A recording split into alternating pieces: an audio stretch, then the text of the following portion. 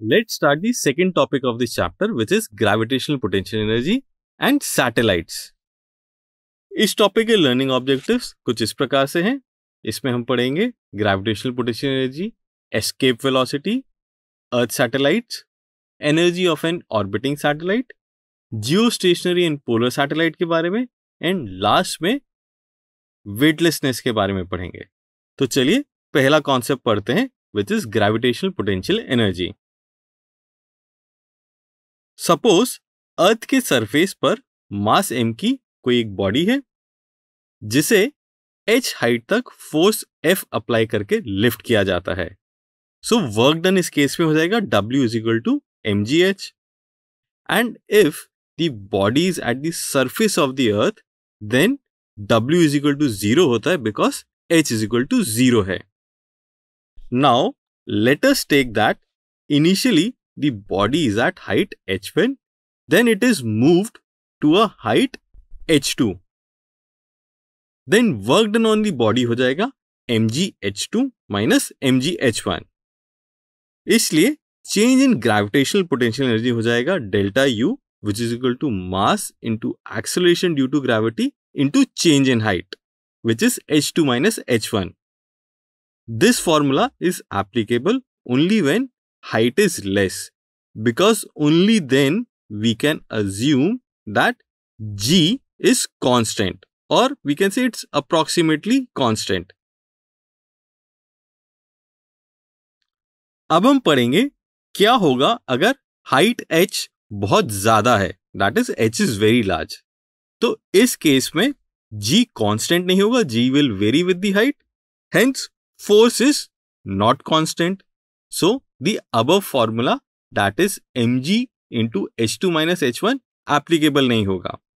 तो अब हम उस केस में ग्रेविटेशनल पोटेंशियल एनर्जी कैलकुलेट करेंगे, जब फोर्स वेरिएबल है। So let us take points A and B जहाँ पर एम एंड स्मॉल एम के मासेस रखे हुए हैं। और उनके बीच का डिस्टेंस जो है, वो है आर वन अब यदि हम स्मॉल एम मास को पॉइंट बी से पॉइंट सी तक ले जाएँ जो कि आर टू डिस्टेंस पर है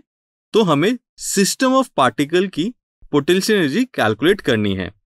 So let us now consider an intermediate position D at a distance R from point A so force on the system of particle that is capital M M small M हो जाएगा F is equal to G capital M into small M divided by R square अब यदि हम small M मास के particle को point D से एक small distance D R से डिस्प्लेस कर दें तो work done for this small displacement हो जाएगा D W which is equal to minus F D R this will be equal to minus G small M into capital M divide by R square into D R here D W is negative because force is attractive in nature and जो displacement है force की opposite direction में है। So, change in gravitational potential energy du will be equal to minus dw which is equal to g capital M into small m by r square into dr. तो अब यदि हम particle को point सी पर ले जाएँ तो चेंज इन पोटेंशियल एनर्जी हो जाएगा integration of D U from R one to R two which is integration of G capital M small M by R square D R from R one to R two G into capital M into small M is constant so अगर हम इसे integration symbol से बाहर ले आए तो हमारा integration हो जाएगा सिर्फ़ integration of one by R square D R which is equal to minus one by R so on applying limits हम लिख सकते हैं u at R two minus U at R one हो जाएगा g into capital M into small M into one by R one minus one by R two अब यदि consider करें कि हम किसी पार्टिकल को इन्फिनिटी तक ले जा रहे हैं। That means R two tends towards infinity and latest take R one is equal to R तो यू आर टू हो जाएगा U infinity which will be equal to zero because हम कंसिडर कर रहे हैं that force between two objects situated at infinite distance is zero so U R one will be equal to U R so potential energy U R हो जाएगी minus G into capital M into small M by R अब हम gravitational potential energy for a N particle system find out करेंगे। Suppose we have two particle system जहाँ पे दो masses हैं M one and M two तो इन दोनों के बीच की जो पोटेंशियल एनर्जी होगी, वो होगी U R which is equal to minus G M one into M two upon R one two यहाँ पे R one two is the distance between mass M one and mass M two अब, इस system of particle में हम एक और मास introduce करते हैं mass M three mass M three के इंट्रोडक्शन से इस सिस्टम ऑफ़ पार्टिकल की जो पोटेंशियल एनर्जी है, वो चेंज हो जाएगी. Because mass M three will be interacting with mass M two and mass M three will also be interacting with mass M one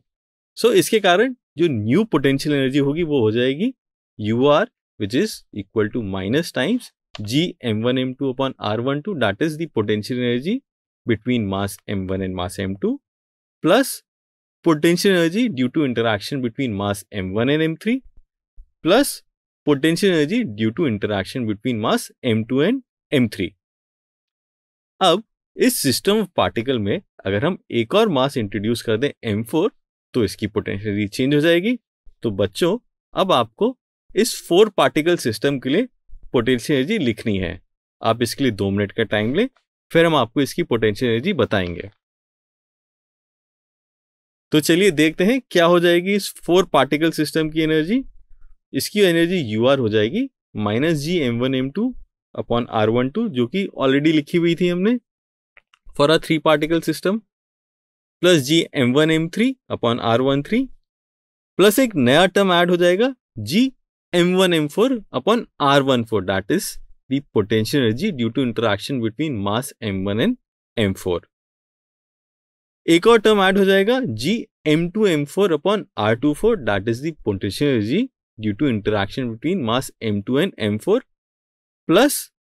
gravitational potential energy due to interaction between mass M four and M three अब, अगर हमें किसी N particle system के लिए